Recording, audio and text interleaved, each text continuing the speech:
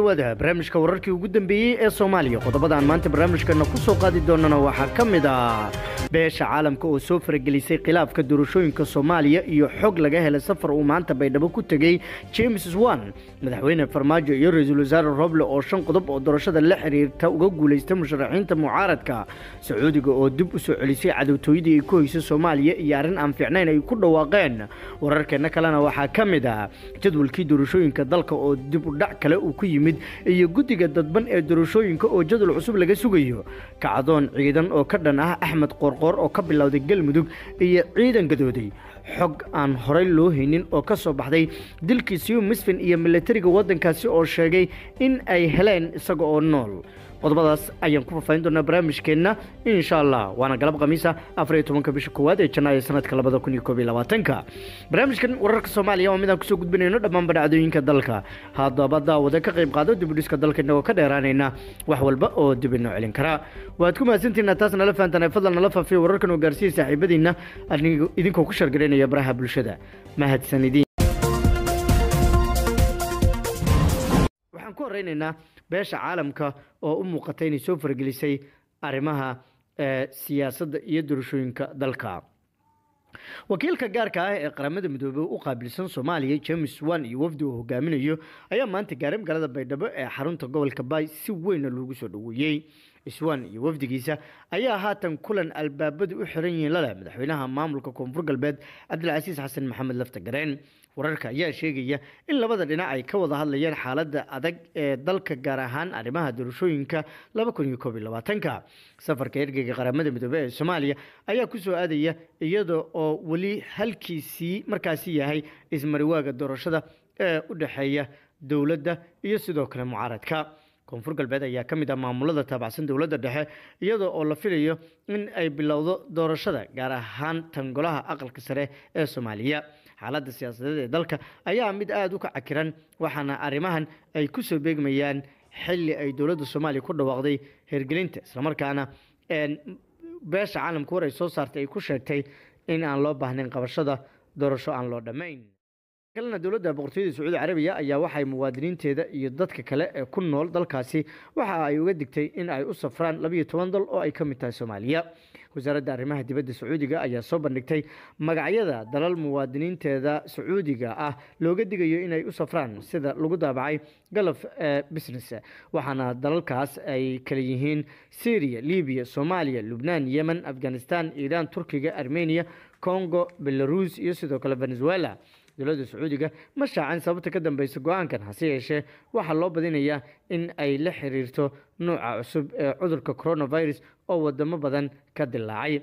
Sidoo kale sacuudiga ayaa ugu baaqay muwaadiniintooda ee ku sugan gudaha labiyo tobanka dal in ay markaasi la soo wadaagaan xogta caafimaad ee safaaradda sacuudiga ay ku leedahay dalalkaas. Sidoo kale muwaadiniinta sacuudiga iyo dadka kale ee ku sugan gudaha dalkaas ayaa waxaa la amray in ay dowladda la socodsiiyaan haddii ay doonayaan inay dalalkaas u safraan maadaama si kumeel gaara loo joojiyey in la aado dalalkaas ay boqortooyada sacuudi carabiya ay sheegtay dhanka kalena wararka naga soo gaaraya galmudug ayaa sheegaya in maanta xaalad kacsanaana laga dareemayo magaalada gelinsoor ee gobolkaasi kadib markii ay isku fidiyeen ciidamo ka tirsan galmudug oo gadoodsan ciidamada oo wata gaadiidka dagaalka ayaa lagu soo waramayaa in laba jidgooyo ay ka samaysteen halkaasi iyaga oo celinaya gaadiidka noocyadiisa kala duwan.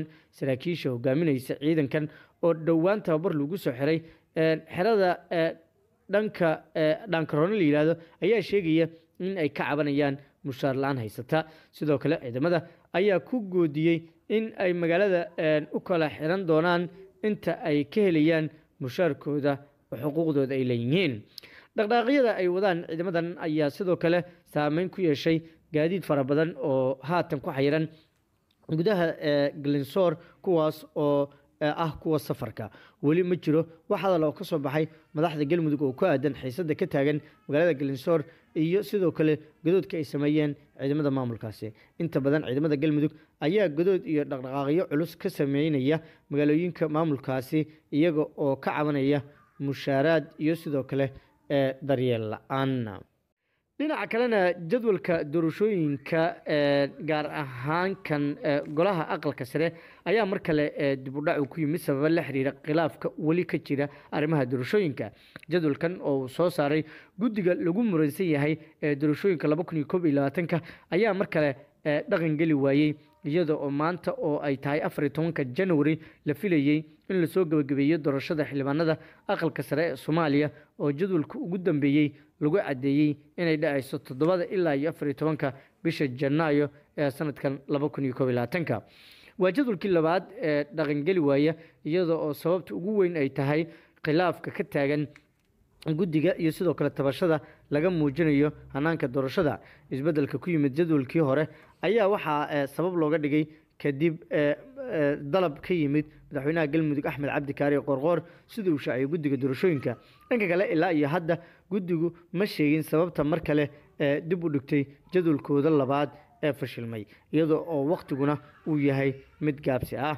Si kastaba arrimahan ayaa ku soo aadaya iyadoo xukuumadda soomaaliya ay ku dhawaaqday hirgelinta doorashooyinka dalka waxaana halkeedii ah tabashada ay weli markaasi muujinayaan midooda musharaxiinta mucaaradka iyo madaxda ay ka mid yihiin puntland iyo jubbaland dhinaca kalena madaxweyne farmaajo iyo ra'iisul wasaare rooble ayaa shan qodob oo doorashooyinka la xidhiidha uga adkaanaya musharaxiinta mucaaradka. Madaxweyne farmaajo iyo dowladdiisa ayaa u muuqda in ay saacadba saacadda ka dambeysa ay libinta iyagu sii helayaan marka la fiiriyo ishaysiga doorashooyinka madaxweyne farmaajo iyo ra'iisul wasaare rooble ayaa ku taagan qodobka koowaad oo ay musharaxiintu uga adag yihiin oo ah heshiiska doorashada ee la galay todobiyo tobankii sebtembar waxay ku adkeysanayaan in heshiiskaas uu yahay midka la marayo. Dhinacyada oo dhan heshiiska waa isku waafaqsan yihiin. Waxay sidoo kale ay sheegayaan madaxweyne farmaajo iyo ra'iisul wasaare roble iyo dowladda federaalk soomaaliya in heshiiskaas uu yahay midka saxda ah ee la qaadayo. Heshiiskaasna kuma xusnayn. Saddexda qodob ee doorashada hareynaysa khaasatan arinka gobolka gedo. Qodobka labaad wuxuu yahay aqlabiyadda maamul goboleedyada. Maamul goboleedyada saddex ka mid ah waxaa haysta dowladda dhexe ee federaalk soomaaliya. Sidaas darteed mucaaradka iyo maamul goboleedyada dhimanba aqlabiyadda waa laga sitaa oo inta badan saddex maamul goboleed ayaa taageersan dowladda federaalk ee soomaaliya arrinka saddexaad ayaa xagga beesha caalamka. Beesha caalamka dhowaan bayaanka ay soo saartay dowladda laftigeeda waxbaa lagu yiri oo in doorasho loo dhan yahay la qabto. Laakiin waxaad moodaa in si toos ah lagu weerarayo mucaaradka. Waxaa ka mid ah qodobadii lagu weeraray in mucaaradku aysan dagaal iyo fidqallo ku baaqin iyo sidoo kale in laga diiday soo jeedintoodii ahaa in hal magaalo ay doorashadu ka dhacdo.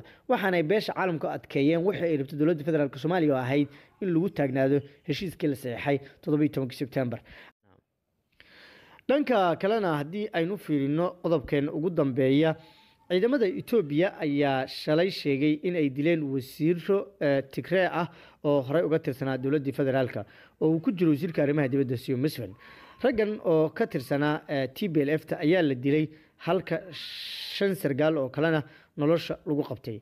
Balse waxaa soo baxaya xog cusub oo ku saabsan dilka madaxda ee tigreega loo geystay. Raggan ayaa la helay ka hor inta aanay la dilin waxa ayna militarigu ku amreen in ay isdhiibaan balse waxaa diiday rag uu ka mid yahay musfin taasoo keentay in la toogto sida ay sheegeen ciidanka etoobiya oo warkaa ku faafiyey twitterka.